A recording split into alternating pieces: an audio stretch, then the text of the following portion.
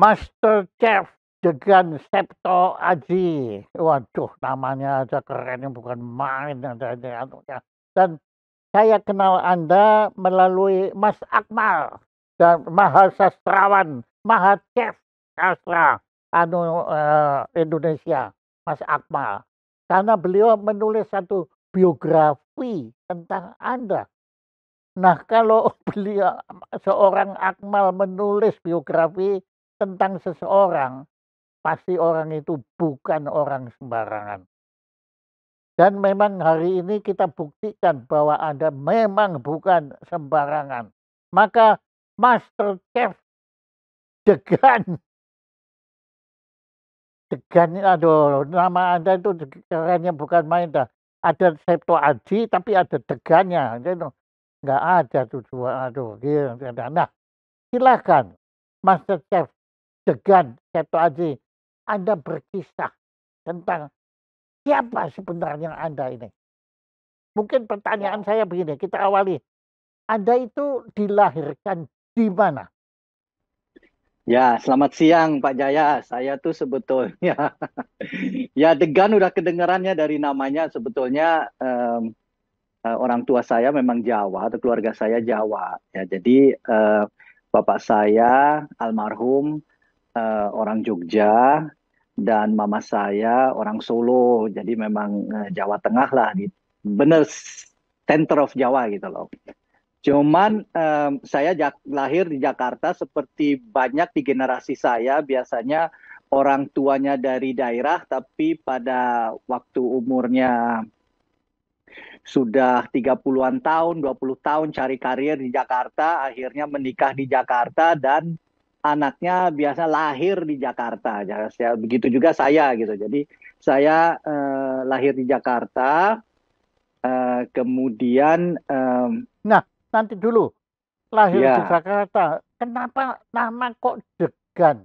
Ya, nah, itu... dulunya saya pikir Degan itu T H E G U N, Degan gitu kan ya. Tapi ini bukan betul-betul Degan. Ya, ya. silakan. Iya, degan karena memang uh, dulu waktu mama saya uh, lagi masih hamil, jadi uh, ada bukan komplikasi tapi uh, sakit dulu. Kemudian disarankan oleh orang tua untuk minum air degan. Nah, ini jadi dari situ ceritanya. Maka keluarlah sang master chef Degan Oke. Okay. Waktu itu belum master chef.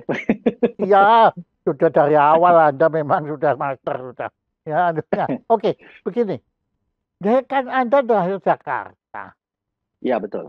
Tapi kan Anda kemudian mendunia menjadi master chef itu bukannya di Grogol atau di mana di Glodok tetapi di Jerman.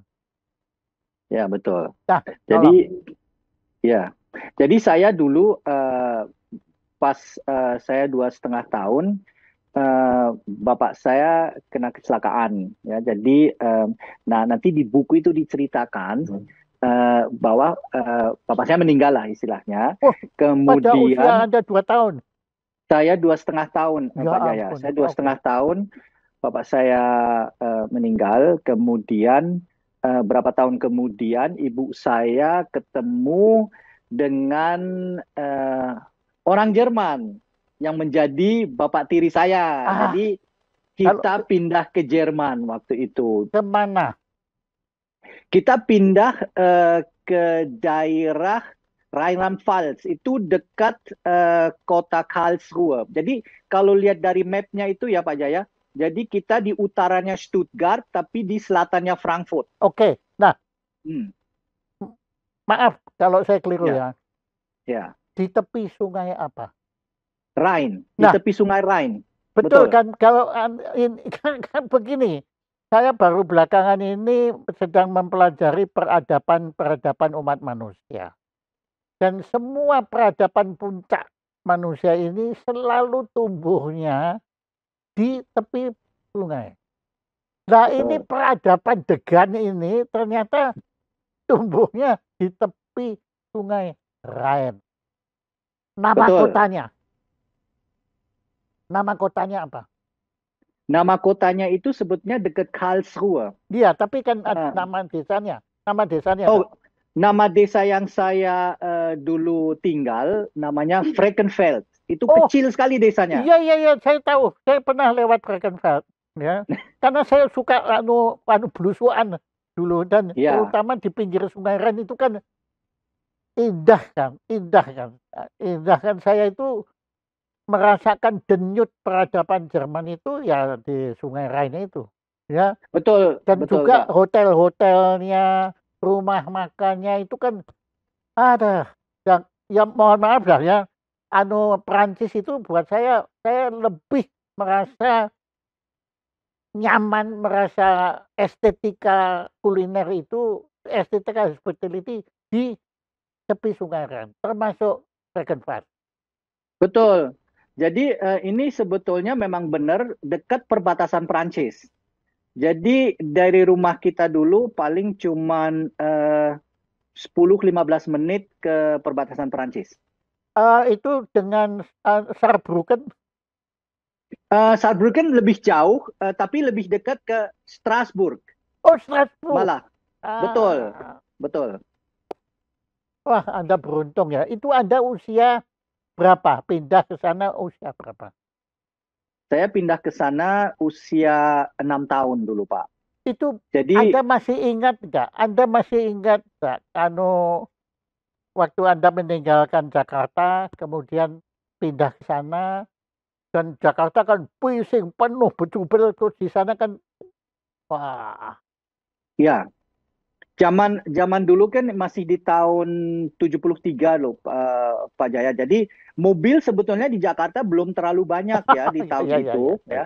Ya jadi eh, Sudirman juga masih kosong kalau dipikir. Saya masih ingat itu.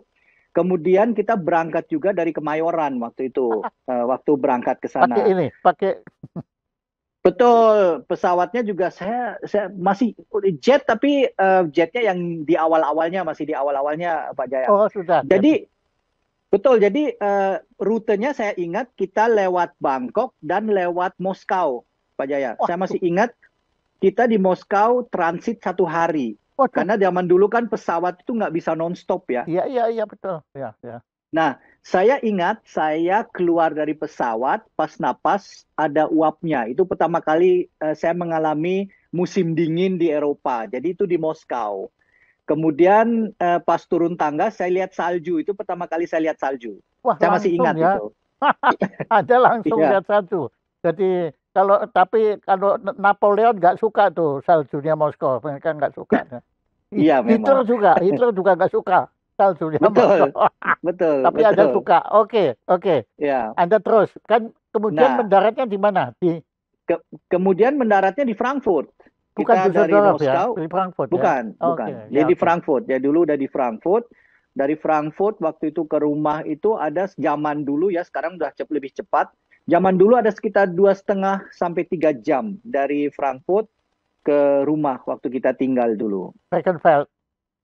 Eh, waktu itu belum Frankenfeld, masih di desa namanya Wörth. Jadi eh, Wörth itu kota kecil ya, di mana ada eh, pabrik Mercedes dulu, Pak Jaya. Jadi bapak tiri saya dulu kerja untuk Mercedes di sana. Nah, Oke. jadi Mercedes tapi bukan sedan, tapi truk. Truknya. jadi ya, ya, ya, ya, truknya. ya, ya, ya. Ya. Oke. Jadi Kemudian bapak tiri saya dulu sempat kerja di Jakarta, membangun dulu eh, pabrik ya, pabrik Mercedes dulu di di Tanjung Priok dulu. Jadi seperti opening timnya dan di situ akhirnya kenal sama ibu saya di Jakarta waktu itu. Oke, wah menarik sekali. Jadi Anda kemudian tinggal di situ untuk berapa lama? Sebelum pindah Di- ke Frankenfeld. Eh, sebelum pindah ke Frankenfeld sekitar satu setengah tahun. Oh, nggak lama ya? Saya- belum nggak lama nggak lama saya eh, masuk waktu eh, saya eh, TK ya masih TK tapi cuma dua bulan kemudian masuk sekolah eh, SD kelas 1 sampai masuk kelas 2 pas di tengah-tengah kelas 2 kita pindah ke Frankenfeld karena awalnya kita tinggal di apartemen pas pindah ke Frankenfeld, uh, kita bangun rumah di Frankenfeld di desa itu. Hebat, waduh, indah. Nah, oke, di Frankenfeld. Nah, apakah pada waktu itu Anda sudah mulai bergelimang dengan kuliner? Uh, awalnya belum, uh, Pak Jaya, karena awalnya uh, mama saya belum kerja. Jadi waktu tahun pertama di Frankenfeld, mama saya belum kerja. Kemudian uh, hampir setahun lah, setahun di Frankenfeld, mama saya mulai kerja. Jadi uh, mama saya kerja dan bapak tiri saya kerja. Saya waktu itu uh, ya masih di kelas 2 SD lah, ya, di kelas 2 SD. Kemudian uh, secara terpaksa kalau pulang siang kan nggak ada orang di rumah, jadi uh, masak itu harus manaskan makanan. Jadi biasanya mama saya masak, masak lauk, masak nasi, dan zaman dulu sudah ada rice cooker ya. Jadi saya tinggal panaskan nasi dan uh, di situ saya harus bisa mandiri dan memang harus sudah harus bisa memanaskan makanan saya sendiri di kelas SD kelas 2 saya umur 7 7 tahun mau 8 tahun lah. Tuh. Jadi Anda berawal dengan kuliner itu dengan rice cooker. Betul. Jadi rice cooker cuma ngisi air terus dipanasin doang untuk panaskan aja. Oke. Okay. Uh, nah, ya, lauknya, belum... lauknya Anda. Nah, ya lauknya biasanya sudah di, di, dibuat uh, oleh mama. Jadi waktu itu mama udah bikin lauk, saya tinggal panaskan aja apa, udah di dalam panci. Apa? Lauknya ya, apa? contohnya zaman dulu mama saya bikin uh, tumis-tumis gitu loh uh, ah, sayuran frikase nah, gitu ya nah frikase atau tapi masakan Indonesia oh. Pak Jaya jadi oh. biasanya sayuran ditumis tapi pakai sosis Pak Aduh, jadi, suka. jadi sebetulnya saya sudah mengenal fusion cuisine dari dulu. Aduh, aduh, aduh, novel cuisine. Oke, oke, ya oke. Itu kan Anda menghidupi diri sendiri. Betul, nah, betul. Bagaimana kapan Anda mulai membuat makanan untuk orang lain? Oh, kalau buat makan untuk orang lain itu saya baru buat setelah saya masuk ke bidang kulinernya. Jadi ya Uh, ya, jadi itu di umur uh, saya masuk ke bidang kuliner itu tahun 84 Pak Jaya. Jadi saya umur waktu itu 16 tahun. Kenapa? Saya masuk ke bidang. Nah, karena karena waktu itu uh, setelah uh, setelah uh, SMA, kalau di sana kan SMA-nya tuh lebih cepat Pak Jaya. Iya. Ya. Ada Jadi Real, uh, Real Schule atau gimnasium? Betul, saya di Real Schule okay, bukan bagus. ke gimnasium. Hmm. Karena saya waktu itu ingin kerja. Jadi oh, pilihannya gitu. Kalau kita jadi ke gimnasium memang memang mau action ya. Betul. Okay. Saya ingin ya supaya nggak susahin orang tua juga, saya ingin cari duit sendiri gitu Oke, okay, bagus. Ya. Oke, okay, terus. Ya, jadi saya ambil pendidikan keterampilan. Jadi saya eh, kenapa saya juga ke situ karena saya ingin uh, saya ingin memilih profesi di mana saya bisa kerja di seluruh dunia gitu loh. Oh sudah. Ya. Waktu itu Anda sudah bayangkan begitu? Sudah, saya sudah bayangkan gitu karena waktu itu saya ada cita-cita pengen suatu saat kembali juga ke Indonesia, ya enggak? Dan uh, saya ingin kalau kembali ke Indonesia ingin independen, jadi uh, bisa melakukan profesi juga di Indonesia dan kalau bisa di mana saja gitu loh. Akhirnya Anda memilih Ya, akhirnya saya memilih ke kuliner. Tapi waktu itu belum segitu, uh, Pak Jaya. Jadi saya awalnya masih uh, ingin uh, mengenal bidang kuliner itu seperti apa. Jadi waktu saya umur 14 tahun, uh, di liburan sekolah itu kan di sana ada summer holiday ya Pak. Jadi saat summer holiday, saya uh, bikin rencana untuk magang di salah satu hotel. Oh. Jadi saya okay, ya, jadi okay. di dalam ya jadi di dalam summer holiday saya masuk ke salah satu hotel di dekat rumah saya. Dulu uh, saya bela uh, saya ingin tahu dan saya bilang sama chefnya, saya ingin tahu dunia kuliner. Jadi saya mau magang di sana selama dua minggu lah, ya enggak? Itu Anda masih di Realschule? Saya masih di Realschule, masih di kelas kelas 9 waktu itu. Jadi belum belum lulus uh, lulus Realschule waktu itu. Tapi ya saya melakukan itu waktu summer holiday gitu loh. Liburan sekolah waktu itu. Oke. selama dua minggu. Jadi selama melakukan itu selama dua minggu, ya di situ sebenarnya saya mengenal eh, apa mengenal bidang kuliner. Pertama kali saya masuk ke bidang kuliner waktu masih Itu Anda magang. kan kerja di satu hotel. Betul. Apakah Anda langsung kerja di dapur atau Anda kerja di pelayanan anu kamar Enggak. atau Enggak, saya langsung di dapur, Oh, langsung dapur. tapi langsung dapur. Tapi ya biasa di dapur kan nggak boleh apa-apa, cuma Iya. bersih-bersih aja. ya boleh ya. nyuci piring kan?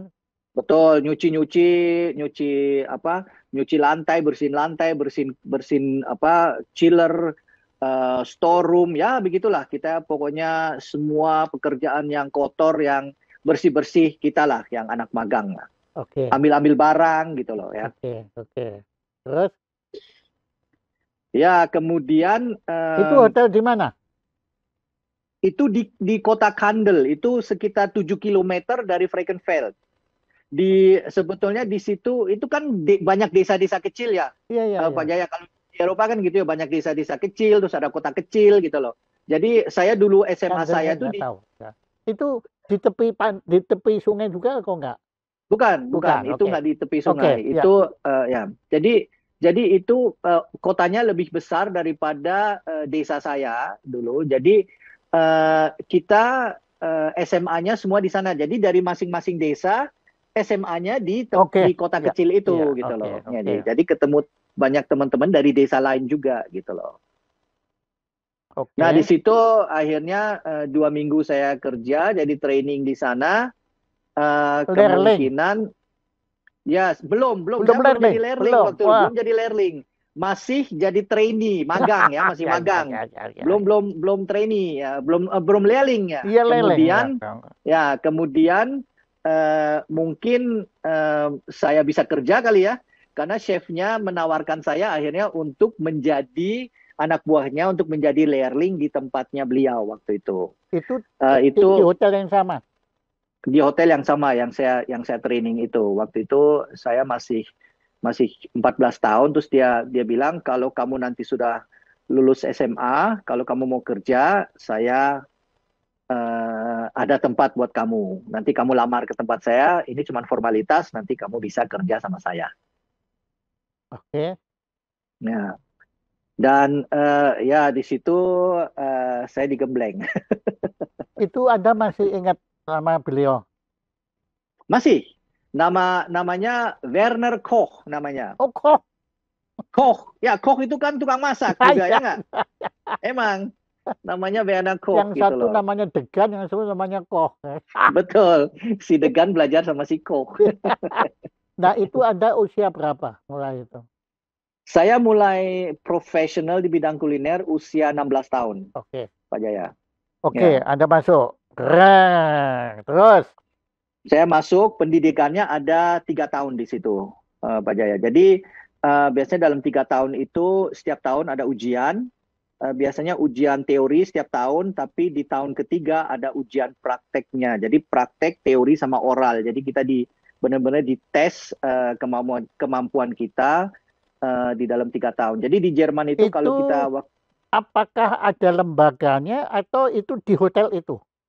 Ya, jadi jadi di hotel itu, jadi semua hotel yang mempunyai master chef ya. Jadi chef saya itu dia punya dia certified master. Oh, jadi, Jadi, kayak kalau di silat itu punya suhunya gitu ya. Betul, betul. Jadi kalau udah certified master chef, dia bisa mendidik, dia Ah. bisa mendidik learning ya. Jadi eh, tanggung jawabnya si chef ini akan mendidik saya dari keterampilan. Jadi dari bidang dari bidang skillnya saya dididik oleh chef tersebut. Itu ada Tapi saya tetap ada Ya, kurikulumnya. Ada Pak, tapi saya juga harus sekolah. Jadi eh, waktu itu juga ikut sekolah perhotelan, eh, sekolah Oh. kuliner khususnya Di mana? di di Ludwigshafen. Wah, ampun dah. Ludwigshafen dengan ini kota tadi yang itu ada hotelnya tuh, Wurst itu gimana? Ya, Jauh. itu jauh, itu sekitar 50 kilo Pak. Lah bagaimana caranya Anda gitu anu yang Itu itu dulu eh, sistemnya itu saya kerja di hotel dua bulan, sekolah dua minggu. Jadi sekolahnya tuh blok Pak. Jadi eh, setiap kalau setiap kali saya sekolah ya saya harus berangkat pagi jam 4 udah harus berangkat naik kereta ke sana Pak. supaya on time ke sekolah. Jadi kita saya biasanya ganti ganti kereta berapa kali gitu. Tiga kali saya ganti kereta dulu untuk ke sekolah ya nggak. Itu uh, jam biasanya jam setengah lima saya udah berangkat di sekolah itu masuk sekolah jam 7.30 masuk sekolah. Jadi perjalanan lumayan tuh, lumayan uh, Nah, jauh di sih. sekolah itu diajarin apa di teori saja atau juga praktek? Eh, teori prakteknya cuman kadang-kadang aja karena eh, guru-gurunya juga orang industri ya. Jadi kadang-kadang eh, kalau kita bahas eh, masakan atau skill tersebut, jadi biasanya diajarin oleh gurunya dikasih tahu gitu loh. Tapi tapi eh, selain itu ya kita juga menunjukkan apa yang kita belajar oleh chef kita gitu. Jadi gurunya lihat oh iya gini. Dan kebetulan juga chef saya eh, dia termasuk juri juga pas lagi ujian dia salah satu juri eh, di di tempat ujian sekolah. Jadi eh, kenal sama semua guru gitu loh. Oke. Anda lulus. Lulusnya Ya, lulusnya mid of China. ya lulusnya eh, Auszeichnung, einige Auszeichnung, tidak semuanya. Jadi kalau dari teorinya saya lulusnya mit Auszeichnung, tapi prakteknya ya istilahnya saya dapat B lah di prakteknya. Kalau Anu, di teorinya Kalau saya angka- dapat angkanya bagusan, itu kalau ya. di Jerman waktu itu dua. dua betul Pak, dua betul. Kalau of China kan satu. Ya, Satu Ya, betul saya Pak, kaget. betul. saya dapat satu mati aku. Iya, sedikit Oke, ya, kelihatannya oke. ya. Bagus Pak Indah. Oke, oke. Saya jadi ingat saya sendiri. Ya maaf sekarang Ya. saya anu nimbrung ya anu pada Anda Ya. karena saya itu dulu waktu sekolah musik itu kan di Folkwanghochschule di Essen, Oke. Essen Werden. Oh, di Itu Essen, saya ya, ya. tinggalnya di hotel, Pak. Oh, wow. Loh, karena di hotel itu murah banget, Pak. Bukan wow. Oh iya. Ya karena di atas hotel di tingkat keempat itu waktu itu ya itu ada Oke. ada kam ada kamar di sana nganggur. Nah kemudian Oke. waktu saya cari-cari itu mereka lihat ini kok ada ada ada Chinese ada tuyul dari Cina eh, kok kelihatan kasihan begini ya. Anu kan dulu saya kurus kering gitu pak anunya. Memang sengaja mengurus kering kan untuk menimbulkan belas kasihan gitu. Nah, nah Dapat kemudian midlight ya. saya lain ya akhirnya saya dapat itu murah sekali tapi ya Oh, bagus. setiap kali harus naik ke atas turun turun Iya. kamar mandinya kan di bawah anunya Waduh, nah ya waduh. turun untuk apa wah gila-gilaan itu dia tapi saya mengalami pak hidup di hotel ya Iya. tapi ya saya kalau lewat dapurnya ya cuma bisa ngiler ya nggak bisa saya oke Mahal, makan tetap di luar kan? Iya, udah di makamnya di anu di anu Di imbis. di, Di imbis. bukan di imbis, mensa. Oh di Mensa, betul betul di kantin kantin ini kantin sekolah ya. benar. Iya, oke. Nah, sekarang balik lagi ke dia, ke Anda, ya. Kemudian Anda lulus. Oke. Ya, semua waktu itu saya lulus, kemudian eh, saya ingin memperbaiki bahasa Inggris saya, Pak. Jadi saya sempat ke Inggris Oh. sebentar. Ya, jadi saya tiga bulan saya Maaf, maaf. Ke ya Inggris. ya Kenapa ke Inggris? bukan bukan untuk kulinernya, lebih ke bahasanya. Oh, Jadi, iya, ya. makanya karena saya memang paling benci makanan Inggris, Pak. Ampun. Nah, nanti saya tanya, nanti saya tanya ya. Oke, Baik, sekarang balik lagi. Anda Ya. belajar ke Inggris terus Ya, terus saya belajar bahasa Inggris karena ternyata di dalam tiga bulan di Inggris itu saya belajar lebih banyak dari- daripada enam tahun eh, di sekolah Oh, dapat iya, iya, waktu pasti. dapat Oke. bahasa Inggris ya nggak.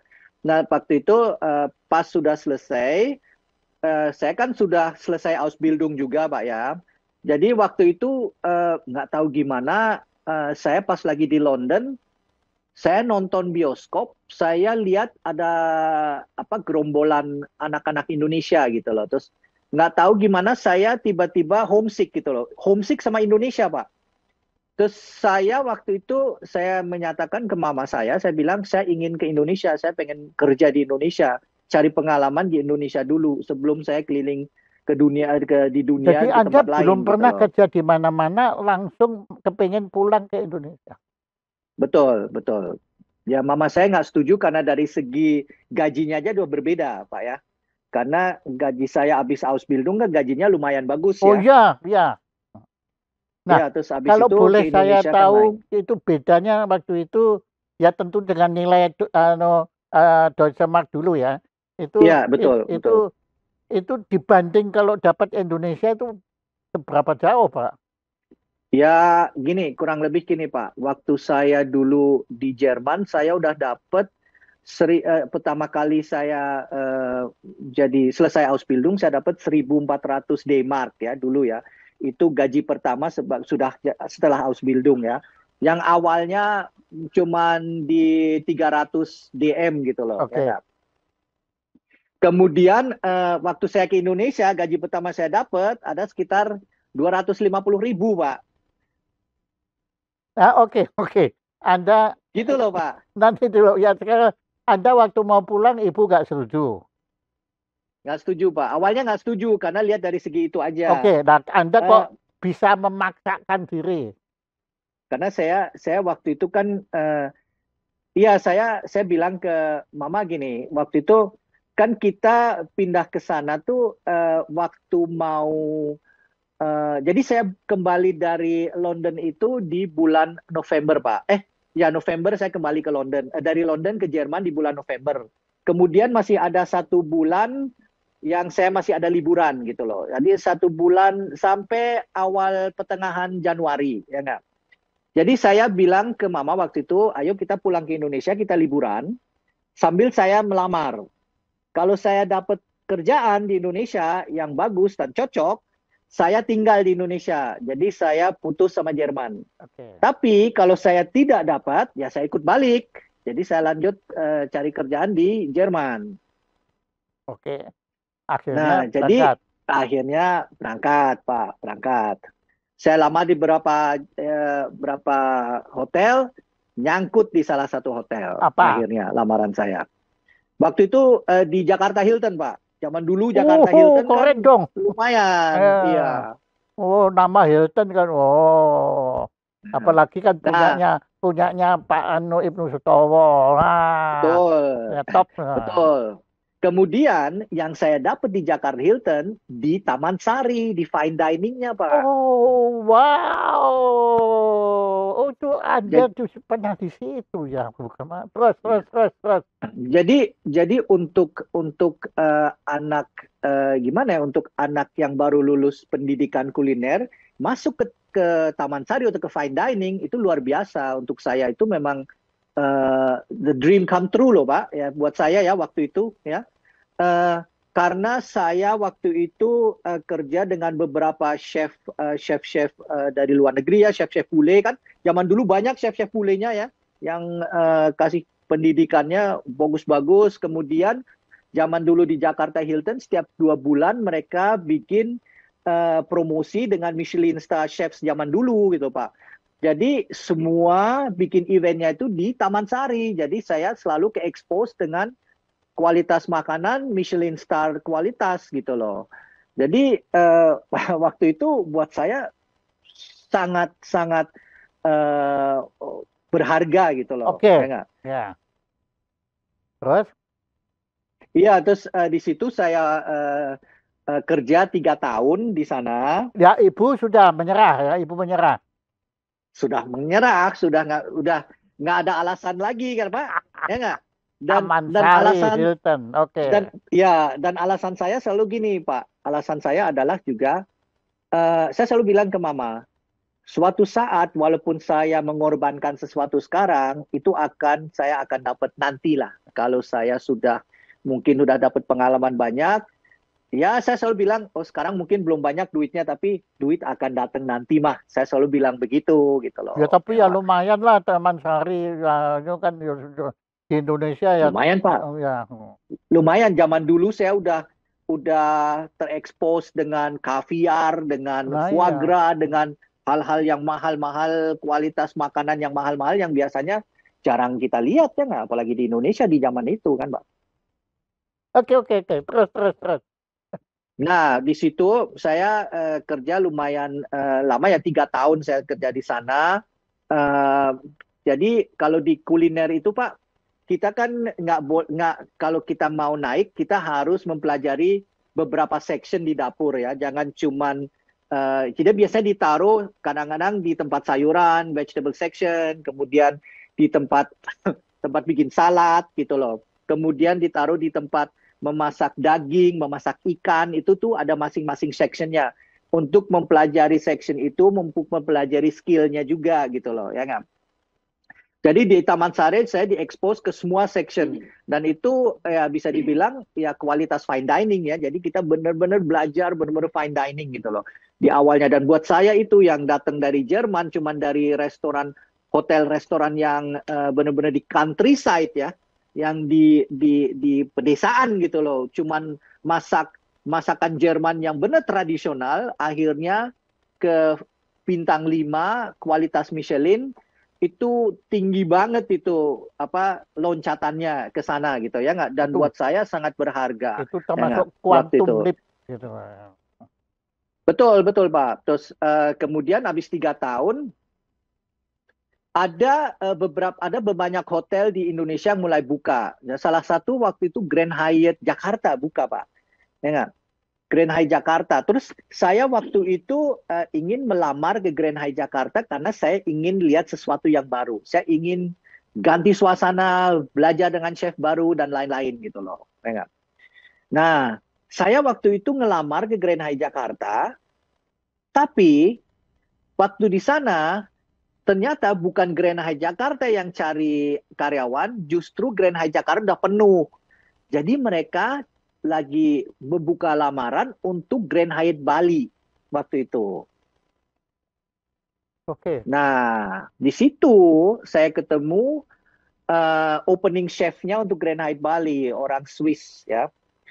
Terus uh, ya kebetulan waktu ketemu dengan beliau um, ya eh, lucu karena uh, awalnya kita pakai bahasa Inggris, kemudian dia baca, dia lihat bahwa saya bisa bahasa Jerman, Terus diajak saya pakai bahasa Jerman, Pak. Terus akhirnya ya saya jawab pakai bahasa Jerman. Akhirnya kita ngobrol pakai bahasa Jerman. Akhirnya cocok kita berdua. dia, ya, langsung tenang. klik. Ya, ya, ya. Tenang. Kita langsung klik. Terus akhirnya uh, interviewnya yang tadinya mestinya cuma 10 menit jadi dua jam lebih. ya, ya. Nostalgia. Iya. Oke, oke. Bagus, uh, menarik. Oke, terus. Hmm. Terus gara-gara itu saya juga langsung di hire sama sama beliau waktu itu okay. gitu loh. Wah. Terus akhirnya ya udah, terus uh, saya akhirnya uh, uh, udah planning untuk uh, pindah ke Bali dan saya apa? Pas saya tiga tahun kerja di Taman Sari waktu itu, terus saya akhirnya pindah sembilan sembilan satu saya pindah ke Bali. Itu apa di Hugo? Bukan, uh, saya pindah ke Grand Hyatt Bali bukan di Hugo. Hugo kan nggak ada waktu itu di Grand Hyatt Bali. Hugonya adanya di Surabaya, Pak. Oh, iya, iya, iya, iya. Ya, benar itu fine dining-nya Grand Hyatt itu Hugo. Nah, Kalau iya, di makanya, Jakarta, tapi di Jakarta dulu kan Ambiente, ingat nggak Pak? Oh iya, Zaman dulu di ya, Jakarta. Ya, okay. Tapi di Jakarta Ambiente. Tapi tapi kalau yang di Bali? Di Bali nggak ada fine dining karena ini resort, Pak. Oh. Jadi jadi saya di, ditempatkan di uh, di Salsa Verde itu Italian restoran dulu. Yang di depan pantai, Pak. Oke. Wah, mana ayo terus terus terus. Ya, kemudian uh, saya uh, saya akhirnya harus pindah ke sana, Pak ya. Harus pindah ke ke Bali. Uh, dan buat saya ini kan baru ya. Saya belum pernah ke maksudnya saya pernah ke Bali liburan sekali tapi uh, kondisinya kan uh, kita ke sana, saya ke sana uh, sama beberapa teman dari Jakarta juga tempat kos dan uh, waduh kosnya zaman tahun 91 kan nggak kayak sekarang, Pak. Tempat kosnya jadi sangat-sangat parah gitu loh. Nah, akhirnya uh, sudah di sana saya uh, mulai kerja dengan timba enaknya enaknya di Bali pak. Karena ini hotel opening ya. Jadi semua mulai dari bawah semua fair nggak ada yang lebih senior nggak ada yang lebih junior gitu loh ya. Oke oke ya terus saya saya menikmati ini. ya, ya. jadi jadi kita benar-benar harus uh, uh, ya karir kita saya di situ sadar bahwa kalau saya mau naik saya harus lebih dari yang lain. Jadi saya harus kerja lebih banyak, lebih lebih apa? Saya harus lebih fleksibel. Kalau disuruh kerja di sini di sana, saya harus mau gitu loh. Dan uh, kebetulan ya karena juga uh, sama chef juga enak ya, uh, karena dia kan orang bule ya pak ya. Dan saya orang Indonesia, jadi saya akhirnya lama-lama menjadi jembatan di antara teman-teman uh, yang di bawah sama chefnya. Jadi uh, saya juga kadang-kadang ngasih tahu chef juga uh, pikiran di bawah gimana karena kita juga banyak kesulitan yang namanya hotel opening ya banyak kesulitannya. Saya juga kasih tahu ke chef chef ini sulit kalau kayak gini gini gini. Hanya juga ngerti dia juga mau mengakomodasi kita gitu loh di bawah. Jadi enak gitu loh pak. Jadi saling uh, sering saya menjadi jembatan dari dari atas ke bawah atau dari bawah ke atas gitu loh ya nggak? Yeah. ya nah, terus dan dan uh, di Grand Heights saya banyak belajar. Banyak belajar karena uh, apa operationnya tuh beda sama Jakarta. Ini resort ya resort Jakarta Business Hotel. Ya nggak? Beda sekali ya nggak? Cara operate-nya beda. Kemudian kita juga waktu di Bali bisa kerja lebih lama dibanding Jakarta. Jakarta biasanya 8-9 jam polnya 9 jam kerja kalau di Bali bisa sampai kadang-kadang 16 jam Pak kerja. Oh. Karena opening Pak, karena masih opening. Tapi enaknya Pak, karena opening ya, jadi uh, kita seneng karena kita semua anak muda satu, keduanya di depan pantai, suasananya kayak lebih, seperti liburan ya. Jadi nggak merasa capek dibanding Jakarta pulang kerja kena macet sini ke sana wah itu malah capek pak. Tapi di di Bali nggak sama sekali. Kalau kita Jadi di depan pantai ya enak kayak pak, anu, ya urlaub gitu ya. Urlaub persis kayak urlaub ya nggak? Apalagi zaman dulu masih punya tenaga pak. Nggak kayak sekarang gitu ya kak. Tiap malam jalan-jalan ke double six lah ke gado-gado kayak zaman dulu ya pak. Jadi waduh itu di zaman tahun 90-an dulu gitu itu loh ya Dolce Vita. Dolce Vita betul. Oke, okay, oh, terus, banget. ayo terus, ayo Pak, ayo. Nah, Ya. Di situ akhirnya saya kerja di sana, saya naik beberapa posisi. Saya juga di karena saya saya merasa saya harus fleksibel. Saya ditempatin di beberapa tempat di Grand Hyatt. Jadi kadang-kadang nggak cuma di satu outlet ini, saya juga buka outlet lain. Jadi di dalam pikiran saya nggak apa-apa lah saya dipindah-pindahin supaya saya juga banyak belajar. Saya pikir saya ingin tahu banyak, saya pengen banyak belajar. Jadi ya udah nggak apa-apa kalau chef taruh saya di sini ya saya kerjain kalau taruh sana ya saya kerjain sana juga gitu saling juga kalau begitu kita juga akhirnya kenalan dengan tim-tim lainnya ya enggak jadi kita menjadi teman menjadi kolega yang yang yang ya, yang, ada yang kenal semuanya. memperluas jaringan ada. Ya. betul sekali pak. Jadi uh, setelah itu saya lima tahun kerja di uh, di Grand Hyatt Bali tapi juga dikirim ke beberapa tempat juga pak. Kadang-kadang dikirim ke Australia untuk cross training ke Australia juga dan uh, waktu itu Hayat juga punya program seperti itu. Jadi kalau dia lihat uh, anaknya memang punya potensi, dikirim-kirim juga ke tempat lain gitu loh. Ya. Nah, kemudian uh, waktu saya di Grand Hyatt, setelah lima tahun, bukalah Ritz Carlton, Pak. Ritz Carlton yang di Jimbaran, yang sekarang menjadi Ayana Hotel. Ya, dulu masih Ritz Carlton. Ya. Nah, itu adalah company baru, perusahaan baru yang beda uh, apa operationnya tuh beda sama sama uh, filosofinya juga beda sama Hyatt gitu loh ya kan. Dan kebetulan Pak, karena chef saya dulu udah sempat keluar, dia akhirnya menjadi uh, opening executive chef untuk Ritz Carlton. ya ya ya ya ya ya ya ya ya. Ya, jadi saya pindah ke ke Ritz Carlton untuk openingnya Nah, saya pindah ke sana ya karena saya sudah mengalami opening, jadi buat saya itu tidak terlalu susah, sudah ngerti. Dan kebanyakan staff yang kita punya juga karena sudah networking ke sini ke sana, kenal banyak orang, Mbak ya.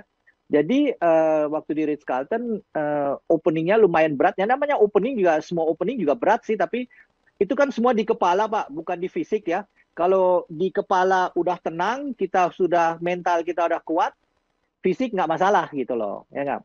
Nah ini kadang-kadang orang tuh suka lupa bahwa sebutnya all happens in your mind gitu loh. Uh, ya jadi terus abis saya di uh, Ritz Carlton buka Ritz Carlton, GM saya sama zaman dulu FMB saya pindah habis dua tahun, eh, enggak, mereka habis tahun pindah, pindah ke Bahamas, Pak. Pindah ke Bahamas, terus saya habis dua tahun di Ritz-Carlton, saya dihubungi sama mereka. Saya diajak untuk kerja di Bahamas, Pak. Jadi di Bahamas itu buka hotel namanya Atlantis yang ada sekarang di Dubai, Pak. Zaman dulu tuh hotel itu ada di Bahamas, Atlantis namanya. Nah itu mereka membangun hotel baru yang 1.200 kamar, so 1.250 kamar dengan kasino terbaru di zaman itu di Bahamas. Dan eh, hotel itu di dalam area, di dalam lingkungan yang sudah ada dua hotel di situ Pak. Jadi hotelnya itu eh, yang satu hotel ada 800 kamar, yang satu 1000 kamar, tambah lagi yang 1250 kamar. Jadi ada sekitar 3000 Eh, kamar di situ Pak dan eh, lebih dari 25 restoran 17 bar dan lain-lain Pak itu gede sekali gede sekali gitu loh dan dan di situ itu saya belajar casino operation Pak itu sesuatu yang saya belum pernah mengalami Oke, gila, oh keren. Oh ya, oke, oke, oke. Iya. Betul-betul melanglang buana nih. Ya, oke, terus, terus Bahama. Iya. Jadi waktu itu uh, saya diajak untuk kerja di sana. Uh, posisi saya nama itu hotelnya Atlantis. Ya, nama hotelnya The Atlantis. Ada hubungannya dengan Atlantic City? Enggak, enggak ada, enggak ada. Enggak ada ya, Enggak ada. Tapi yang punya Atlantis uh, Atlantis itu namanya Saul Kersner. Dia lumayan terkenal, dia punya beberapa hotel di seluruh dunia dan seorang bisnismen yang kenal juga sama banyak seleb-seleb di Amerika, Pak. dan dan waktu itu waktu kita opening, Pak ya, yang waktu kita opening dia charter dua pesawat, satu dari New York, satu dari Los Angeles. Itu dia uh, mengundang semua seleb-seleb. Jadi waktu openingnya itu uh, ada Michael Jackson, George Benson, Natalie Cole, Leonardo DiCaprio, semualah yang yang uh, istrinya Donald Trump, Ivana Trump dulu juga datang ke sana gitu. Jadi uh, kita melayani semuanya jet set Amerika di sana dan waktu sehari setelah opening, Oprah Winfrey bikin show-nya dia di situ di properti kita gitu loh. Ya nggak waktu itu ya. Jadi uh, buat saya itu pengalaman yang sangat berharga dan saya bisa lihat oh ternyata gini ya operation di Amerika dengan apa uh, dengan operation yang sangat jet set atas gitu loh, yang dengan casino operation juga gitu ya. Jadi di situ saya banyak belajar dan saya kebetulan di sana juga posisi saya ya lumayan tinggi. Posisi saya tuh nomor tiga di di kitchennya. Jadi dulu ada director of operation, uh, director of kuliner, kemudian ada executive chef. Saya menjadi senior executive chef. Jadi di operation itu ada dua senior executive sous chef, saya sama orang Prancis gitu loh. Baru di bawah kita eksekutif sous chefnya ada berapa? Ada enam atau tujuh gitu loh. Pertanyaan Jadi, saya, uh, pertanyaan saya, ya. Ya Pak. Kan saya sekarang ke mana-mana, ya terutama di daerah Timur Tengah itu, itu kan isinya dapurnya kan isinya orang Indonesia, ya. Betul, Apakah betul. waktu itu di Bahama juga sudah mulai Indonesia? Ya betul. Waktu itu gini, waktu itu uh, direktur kulinernya itu orang Prancis ya dia pernah kerja di Jakarta. Ya.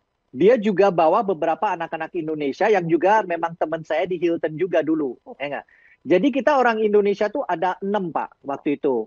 Uh, saya yang paling posisi paling tinggi saya di antara teman-teman saya yang lainnya sedikit di bawahnya tapi mereka juga semua pegang uh, leading position waktu itu ya. Nah, kenapa Pak? kenapa tuh orang orang asing tuh seneng kerja sama orang Indonesia? Nah, ini saya kasih tahu. Nih, saya kasih tahu, Pak.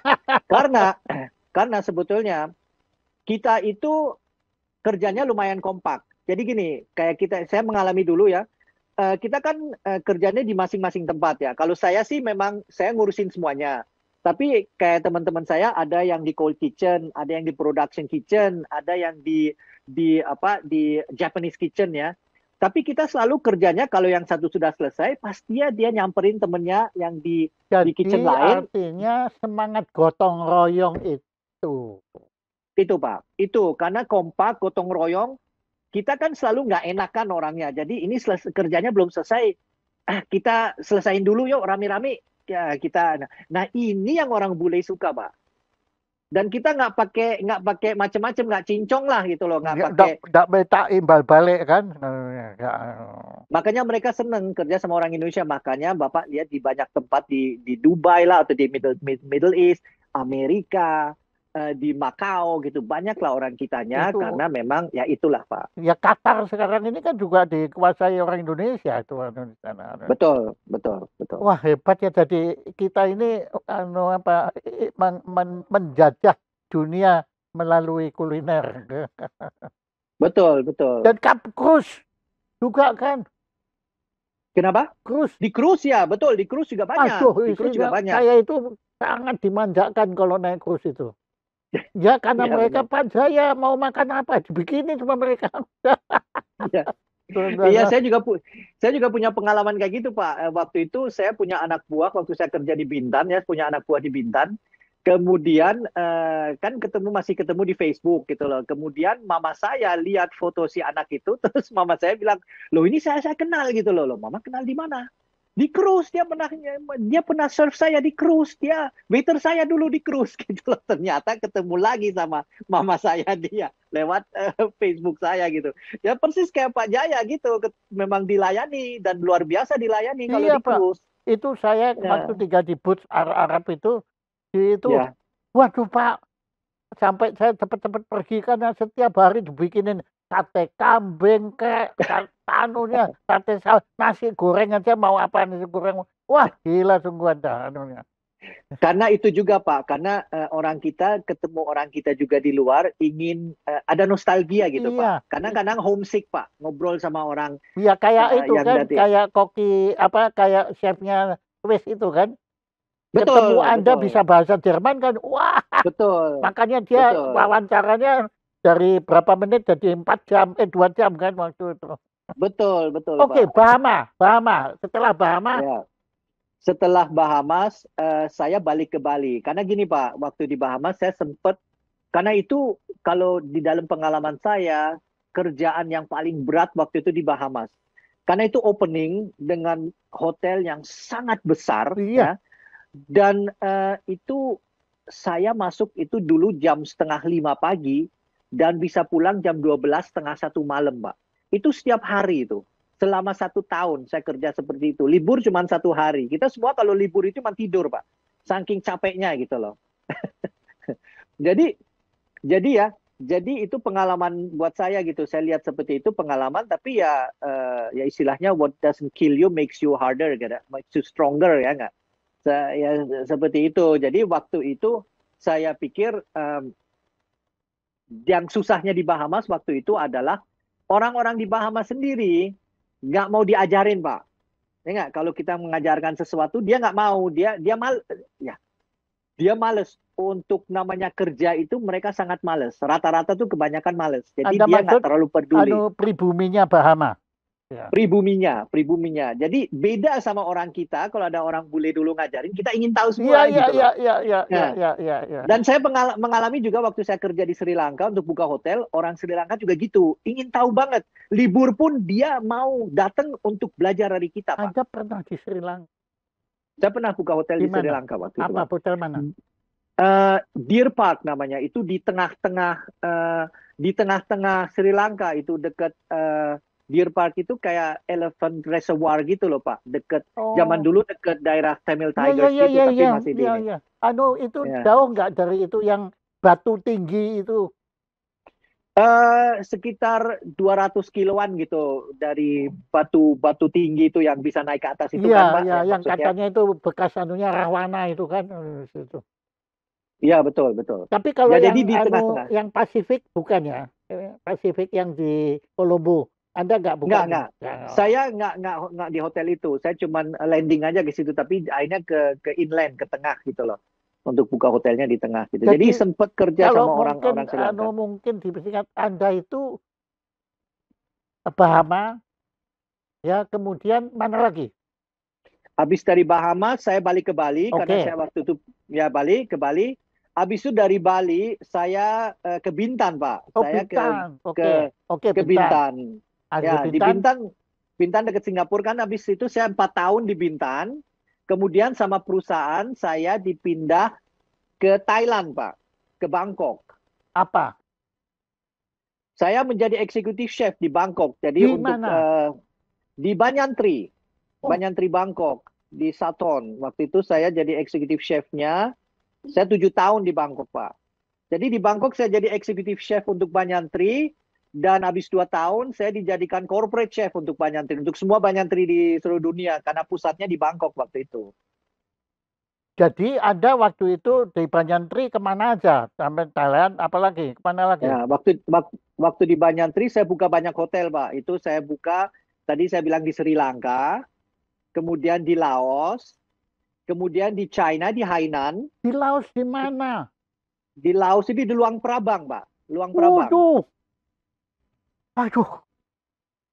Aduh, itu, bagus sekali. saya iri dah anu sama Anda. Ya saya ke Luang Prabang ya untuk nginep ya, tapi kan Anda di sana untuk berkarya itu. Dan Iya. Anda berapa lama di Luang Prabang? Luang Prabang itu berapa kali saya ke sana? Dua bulan, sebulan. Dan saya, saya sering ke sana karena kan saya eh, ya tanggung jawab saya juga kan ngecek operation ke sana dari Bangkok. Jadi saya sering ke sana gitu. Wah, keren, keren. Ya, oke terus. Anu Luang Prabang. Ya, Luang Prabang, eh, Pulau Hainan di China, saya juga buka hotel di sana. Kemudian saya ke Tibet, Pak. Ke Tibet juga kita buka dua tiga hotel di Tibet. Di mana? Satu satu di Gyaltang dekat Kunming, satunya di eh, eh, Ringa, di Ringa, satunya di Lijiang. Di Xinjiang. Lijiang, Oh, Lijiang. Lijiang. Lijiang di mana Ya. ya? Lijiang itu eh, dekat eh, Shangri-La lah itu. Kan ininya kan dekat Shangri-La itu. Anda dia jangan bingung kita nih. Shangri-La Hotel. Bukan, bukan. The real Shangri-La, Iya, Pak. iya, iya. Oke, oke. Nah, Anda pernah di sana juga? Saya pernah buka hotel di sana. Anda eh, berapa beberapa lama tinggal di sana? Eh, itu sama Pak, bolak-balik Eh, Ya, sebulan apa, balik apa- lagi kalau bolak-balik apa Anda nggak kesulitan napasnya? Awalnya gitu Pak.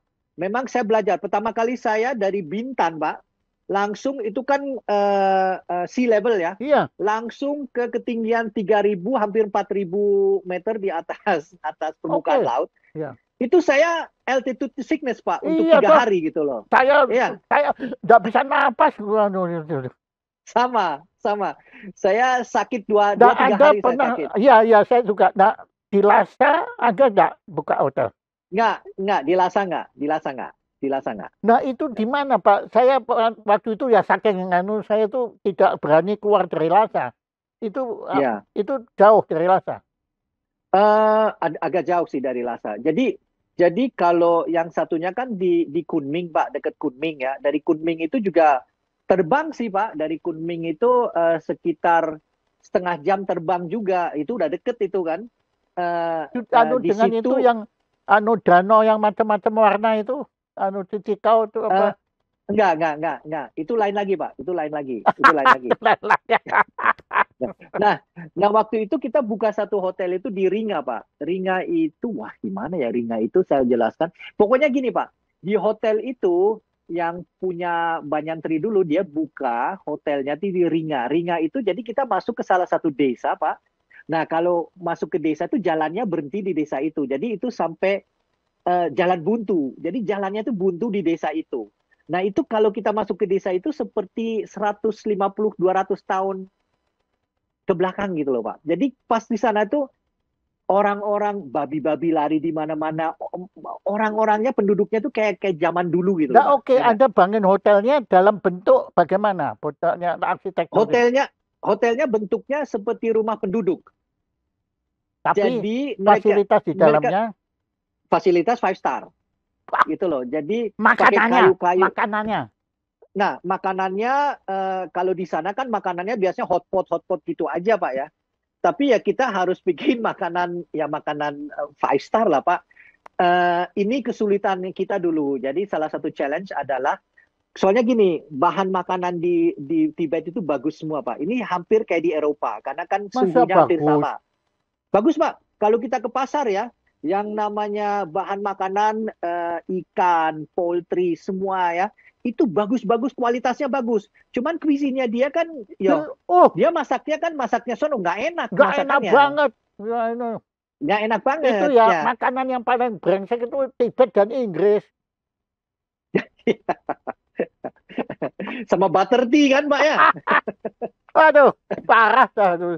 Saya itu di, Ya. aduh, di Tibet menderita kan waktu itu. Betul, betul. Makanannya nggak enak sekali. Tapi kita ya bikin makanan barat, eh, pun makanan Asia kita bikin. Kan bahannya ada, Pak. Dan bahannya semua bagus. Cuman mereka nggak tahu cara buatnya, Pak. Nah, Anda ngajarin. Saya ajarin. Saya bikin beberapa masakan. Atau gitu eh, saya tuh anu, masa- cari Anda bikin makanan saya dulu di Tibet. Aduh, butan. Butan saya belum pernah, Pak. Saya nggak ke Butan. Saya belum pernah ke Butan. Ya nggak? Eh, Mongol. waktu itu kita, ya, Mongol nggak juga, belum pernah gitu. Iceland. Jadi saya, kenapa? Iceland. Iceland belum, Pak, belum. Spanyol. Jadi saya gini, Pak. Saya Spanyol udah pernah. mana? jadi gini, Spanyol Pak. mana? Barcelona saya pernah. Tapi nggak kerja, Pak. Itu dalam rangka eh, ya kulineri tour lah, ya nggak? Karena kan kebetulan saya lagi di Eropa mempromosikan masakan Indonesia, terus saya langsung ke Spanyol. Saya punya beberapa teman di sana, jadi ini lebih ke kulineri tour ke Spanyol gitu, ke, ke Barcelona khususnya. Portugal. Nggak. Portugal belum, Pak. Belum, Pak. Saya belum ke Portugal. Tapi gini, Pak. Habis dari eh, saya kan waktu di Banyantri dikirim ke banyak tempat ya, Pak ya. Jadi habis di di sana saya juga buka bantu buka hotel di Maldives juga gitu loh. Maldives. ya nggak? Ah, yang mana? Maldives, yang ya. Banyan Tree. Banyantri ya, Banyantri waktu itu ada beberapa hotel waktu Men- itu. ah, Anda Eh, kalau saya belum pernah ke Maldives dan ya, ada rencana. Menurut Anda sebaiknya saya di hotel mana? oh, Maldives itu banyak sekali sekarang Iya, hotel bagus-bagus, tapi Anda Pak. pilihin dong satu. Eh, Four Seasons bagus. Oh, Four Seasons. Oke. Four Seasons bagus. Ya enggak? Bagus hotelnya. One, Restorannya one, eh, one and only, one and only juga bagus, Pak. one One and only. only. Ya, Oke, tapi Bagus. anu makanannya Four Seasons oke. Bagus. Bagus. Bagus. Eh, saya juga pernah dulu ke Four Seasons eh, karena dalam rangka eh, saya ditawarin kerjaan di Four Seasons dan saya dulu untuk interview aja Pak, saya diterbangin ke sana ya. Bawa istri Pak, tiga hari dijamu di Four Seasons untuk interview tok Pak, ya nggak? Terus waktu itu dan ikannya kan di Maldives itu fresh semua kan. Saya kenalan sama tim segala mat, sama segala timnya saya kenalan. Kemudian HRD-nya bilang ke saya, kalau seandainya kamu nggak cocok di sini, satu hal yang menurut kamu kurang cocok, bilang aja nggak apa-apa. Kalau interview ini nggak jadi, kamu balik lagi, nggak kuat, nggak usah khawatir, no strings attached, no worries dia bilang, ya. Waktu itu nggak masalah. Yang penting kamu harus happy. Kalau saatnya kita deal, saya maunya kamu happy, ya nggak? Nah waktu itu saya nggak jadi karena apa Pak? Saya nggak jadi karena posisi saya sebetulnya waktu di Banyantiru jadi executive chef, tapi saya dapat posisi yang lebih rendah. Tapi bukan itu masalahnya. Waktu itu masalahnya karena kamar atau misalnya rumah yang saya tinggal saya harus share dengan banyak orang, sedangkan saya bawa istri gitu loh, ya nggak? Jadi di situ aja saya merasa kurang cocok dan mungkin belum jodoh ya nggak Pak? Iya, iya, iya. Nah setelah itu satu bulan kemudian tsunami Pak. Oh. Jadi memang bukan jodoh waktu itu. Waduh, ya, ya, ya, ya jodoh juga. Artinya kan Anda kan nggak nggak ada di situ, itu jodohnya. Iya. Jodohnya itu benar Pak, Iya. betul.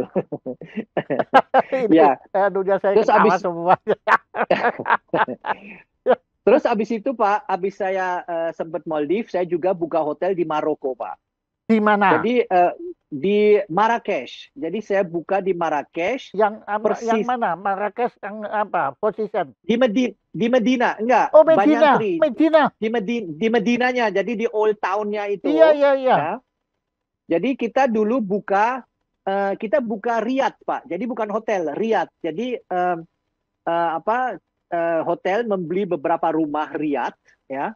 Itu karena di dalam satu Riyadh itu kan ada sekitar 4 5 kamar gitu loh. Itu dibuatin kamar rumah yang five star gitu loh, Pak. Jadi kita bisa eh, jadi satu Riyadh itu ada lima kamar di tengahnya ada kayak lobby gitu, kayak misalnya ruang tamu ya nggak. Terus eh, masing-masing kamarnya itu dibuat konsep yang berbeda-beda tapi luxury, luxury gitu loh pak. Terus dia bikin di di Medina itu di eh, eh, apa di kota tuanya itu dia bikin empat ada empat lokasi. Jadi waktu itu kita buka di empat lokasi di Maroko. Jadi timnya tuh beda-beda. Jadi uh, chef-chefnya di sana juga semua ibu-ibu Pak. Jadi saya harus ngajarin mereka juga selain mereka ajarin saya masakan Maroko yang tradisional, saya mesti ajarin mereka misalnya American breakfast dan Oh masakan jadi salad-salad anu gitu loh ya nggak? mereka sana perempuan nggih? Perempuan, ibu-ibu semua yang Nah, dari sekitar situ kalau gitu boleh loh. sekarang kita kan dari tadi saya terhanyut ke dalam Nah, hotel ya. Sekarang saya mau tahu, kenapa chef kebanyakan laki? eh, itu pertanyaan yang bagus. Eh, dulu itu ya, eh, karena mungkin dunianya tuh agak keras, ya nggak? Ini kan kalau kita ngomongin eh, di hotel itu atau di restoran itu, dunia chef itu kan nggak seperti masak di rumah, ya nggak? Jadi eh, eh, ya ininya lebih keras sih. Eh, Ya ya, eh, ya sudah terjawab, sudah terjawab. ya Nah, ya, nah. lebih Nah, eh, kerjanya kenapa? lebih keras. Kenapa justru di Maroko yang mestinya kan Maroko kan menguntapkan laki kan, kok chefnya perempuan? Nah, ini karena ini Riyadh, jadi ini kayak rumah, rumah besar. Oh, iya, Jadi iya, lebih ke kekeluargaan. Jadi kayak ibu-ibu yang masak di situ. Ya, Tapi ya, ya, skillnya ya, ya, bagus. ya. Tapi gini Pak, kalau di Thailand juga ya, ini saya mau, eh, saya kan lama di Thailand. Di Thailand juga pengalaman saya, kebanyakan chef-chef yang canggih, yang jago, yang pinter masak, perempuan semua Pak. Atau atau Anda tidak Ya. mau menggunakan perkataan tidak perempuan, tidak laki. Eh, enggak gini, soalnya eh, apa peng- itu dari pengalaman saya zaman saya di Enggak, Jakarta begini, Hilton Pak. dulu. Kan kita tahu Ya. di Thailand itu kan jenis jenis kelamin yang antara Ya. laki dan perempuan kan justru sangat Ya. dihormati. Apakah Memang, memang. apakah banyak juga chef yang tadi itu? Yang katoi, istilahnya bahasa Thailand namanya katoi, Pak. Iya iya iya udah. Nah, ya itu saya pun di eh, di ini saya di eh, di organisasi saya di di tim saya ada dua. Saya punya dua dulu, ya enggak? Saya punya dua dan mereka ya apalagi mereka memang lebih punya tenaga laki-laki tapi punya kehalusan perempuan. Ya. Jadi eh, kalau kerja sama mereka itu pasti bagus. Dan eh, cuman cuman gini Pak, kita harus bisa menjaga perasaan mereka karena mereka eh, agak sensitif perasaannya. Agak gampang Tapi- tersinggung ya. Betul, gampang tersinggung. Tapi kalau kita bisa menjaga perasaan mereka, Wah, Mereka itu all sangat out setia. Ya. All out. ya. all out, all out Pak. Jadi dari segi kuliner, dari segi eh, segalanya gitu loh. Oke. Ya nggak? Jepang. Jepang saya belum pernah. Itu salah satu tempat Oke. yang saya ingin sekali. Oke, China. China tadi Hainan, saya pernah Hainan. Oh, ya, Hainan. Ya, Eh, ya, ya. Hainan, saya pernah Hainan. Dan Hainan itu kalau dilihat seperti Bali hampir ya. Ya, ya, ya. Tapi ya makanannya saya nggak terlalu anu. ya. Enggak, makanannya enggak, makanannya enggak. Ya, oke. Makanannya. memang saya akui, Pak. Saya sangat suka makanan Chinese di Indonesia.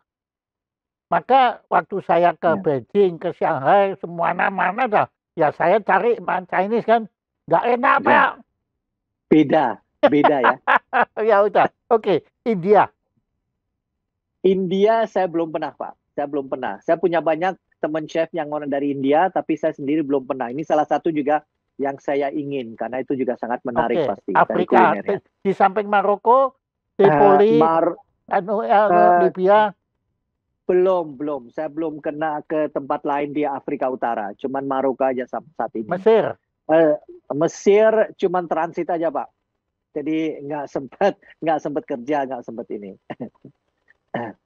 Oke Pak, aduh, saya kira begini Pak, ini waktunya yang nggak cukup ya, anunya ini masih dibikin saya kedua Pak. Ya, Monggo, Pak. karena Saya karena, bersedia. Loh, saya sendiri dengarkannya itu ada cara bercerita seperti menyajikan kuliner. Jadi ah rasanya tuh wah, anu apa enak begitu loh anunya ya anunya dan dan saya kagum ya atas apa keterbukaan Anda memang seniman ya. Kalau saya begini Pak, istilah master chef itu saya nggak terlalu suka. Karena itu kan jelas itu kan bukan bukan kebudayaan kita. Betul. Kalau menurut saya, saya itu ingin pa- pada acara selanjutnya saya akan sebut Anda bukan master chef tapi begawan adiboga. Keren kan? Keren, Pak. Oke, jadi ini jelas Pak, habis ini kita bikin yang seri kedua ya. Nanti ini karena saya sangat menikmati dan saya yakin teman-teman yang menonton juga pasti ya. Banyak sekali ceritanya Pak. Kalau mau. Nah makanya kan tidak habis-habis kan ada itu nanti ada anu tentang Bahama aja tadi kan kalau mau didalami kan bagaimana waktu anda nah waktu di Bahama mungkin pertanyaan terakhir. Ya. Anda melayani siapa? Pernah yang Anda layani langsung waktu di Bahama itu? Yang anu di uh, antara anu bintang-bintang itu. Ya Michael Jackson uh, kirim room service, kita dulu bikin room service karena dia waktu itu tinggalnya di penthouse-nya yang kayak jembatan itu di atas. Ya. Kemudian saya melayani dulu uh, Iwana Pak. Jadi langsung waktu saya di tempat saya saya bikin kita punya breakfast buffet dan saya ajarin anak-anak Bahamas bikin martabak, Pak. Karena kita punya Mongolian barbecue besar. Saya ajarin mereka bikin martabak dan Iwana Trump datang ke saya. Dia lihat, dia tanya, ini apa gitu. Saya jelasin, ini kayak Indian omelet, saya bilang aja gitu okay, ya. Gitu loh. Okay. Terus dia nyoba, dia suka waktu itu. Dan saya juga pernah melayani Tyra Banks, Pak. Itu di pool. Waktu itu saya lagi mau bantu outlet yang di pool. Di pool itu kan kita bikin burger dan yang lain-lain gitu ya kan pas lagi di dekat swimming poolnya itu. Dan dia datengin ke saya Pak, dia tanya ke saya kalau saya cari burger ke mana. Terus saya kan uh, Tyra Banks saya, waktu zaman dia masih muda Pak. Terus saya kan liatin dia, dia berdiri depan saya pakai bikini Pak. Saya awalnya nggak bisa ngomong Pak, saya cuma liatin doang gitu sampai saya jawab. Semua, tim saya ketawa semua itu. Dan mereka pengen pengen lihat juga itu. Tapi tinggi, tapi tinggi ya, tinggi ya. Enggak, Pak. Oh, Se, enggak. Uh, enggak, enggak setinggi saya, Pak. Enggak oh, setinggi saya. Iya. Tapi saya satu tujuh lima, dia paling Tapi yang penting pakai begini kan. Hmm. Oh ya, oh ya. oh ya. Oke, nah uh. sekarang nah, cuma ini yang, yang laki ketemu yang perempuan nggak ketawa pak ini. ya oke, okay. nah, Pak Degan bukan main, begawan Adiboga Dekan Septo Adi. Saya nggak punya apa-apa, tapi ini akan kita kirim. Ini yang seri Waduh. pertama ya, anu Jayaspurana Institute untuk Degan Septo Aji. Terima kasih banyak. Anda Pak. terima kasih perjalanan banyak. kuliner melanglang buana dan ternyata Anda dahsyat sekali melanglang buana. Tinggal Anda perlu ketemu sama Elon Musk ya untuk mungkin nanti Anda menjadi chefnya di anu di planet Mars itu nanti sebenarnya. Oke, tepuk tangan untuk Jegan Sertoaji. Terima kasih, terima kasih banyak Pak. Wah, terima kasih. Yang laki semua tepuk, yang perempuan nggak mau tepuk itu. saya oh. saya ke, saya ketemu Leonardo DiCaprio juga kok. Oh, nah ini ya lah, yang perempuan. yang perempuan, yang laki berut semua Pak. Oke, terima kasih.